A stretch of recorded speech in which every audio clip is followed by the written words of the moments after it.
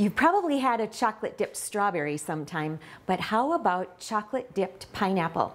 I am going to show you how you can make chocolate dipped pineapple that is sweet, salty, and spicy all at once. And it's so easy to do. First of all, you need to start with a fresh pineapple. And right now in the stores, they're sweet and juicy. This one is so heavy, for its size. I know that it's full of sweet juice. So to get my pineapple chunks ready, I'm going to cut both ends off of the pineapple. And then I'll have this nice flat bottom to stand it on. Just take a sharp knife and cut away that outside rind. Let's get a nice big slab of this pineapple. And you can see that there's a hard core right in the middle of the pineapple. So I would just keep cutting all the way around that core to get my nice pineapple wedges. And I usually save this just to kind of chew the nice fruit off of it. Now, I'm gonna take this slab, there's a little piece left to cut off here. And if you have any of those little seed spots left, just slice them off. And then I'm going to cut cubes of pineapple that will be bite size and big enough to go on a little skewer and dip it into the chocolate. And if you want to, you can make them as thick as you want. I try to make them, I don't know, maybe half inch to one inch thick. There we go.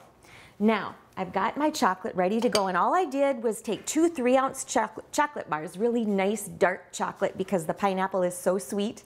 And after it was melted over some hot water, I've got hot water in my pot, not enough to reach up to the bottom. I don't want it to touch the bottom of my bowl.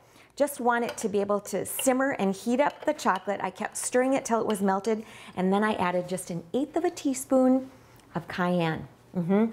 That's what gives it the heat, the spiciness. And now I've got my little skewers ready to go. I'm going to just stick them into the pineapple.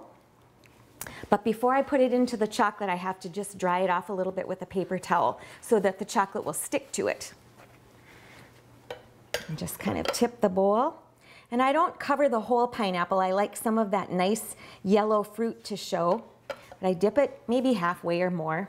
Let it, let that chocolate drip a little bit and then set it onto a parchment lined baking sheet. And to finish it off, I'm sprinkling it with just a little bit of sea salt flakes. So we've got sweet, salty, spicy. After they've been in the refrigerator, they're ready to go delicious for brunch and delicious for dessert. I'm Sue Doeden, sharing good food for good life 365.